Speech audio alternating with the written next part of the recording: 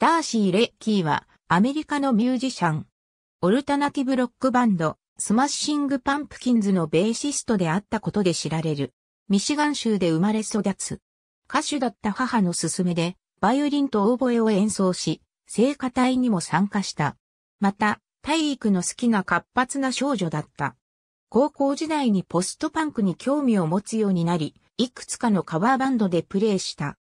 高校卒業後、あるバンドに参加するため、フランスに引っ越すが、彼女が到着する直前に、バンドが解散しており、そのまま帰国する。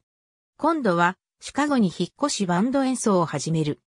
1998年4月撮影ある日、シカゴのライブハウスでビリー・コーガンと出会い、コーガンからバンドに誘われて、スマッシング・パンプキンズに加入することになる。その後、デビューアルバムのギッシュから5枚目のスタジオアルバムであるマシーナ、ザ・マシーンズ・オブ・ゴッドのレコーディング終了までベーシストとして活動した。1999年に女優になるという理由で突然バンドを脱退するが、その後間もなくクラックコカイン所持の容疑で逮捕されている。彼女の後任にはメリッサ・オフダマーがついたが、パンプキンズは2000年に解散した。2006年にスマッシングパンプキンズが再結成されたが、ダーシーと元バンドメイトのジェームス・イハは参加しなかった。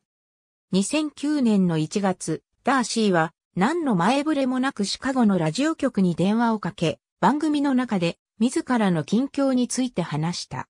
それによると、現在はミシガン州の農場で暮らしおり、健康状態が思わしくないことから音楽活動は諦めたとのこと。他には、モンキーズのデイビー・ジョーンズとシルバーサンピックアップスが気に入っていること、数年前に婚約者が亡くなったことなどを話した。2011年2月に自身の農場で飼っていた馬が逃げ出したことで近隣住民に告発され、法廷への出廷要請を拒んでいたために逮捕。同月には飲酒運転の容疑でも逮捕されている。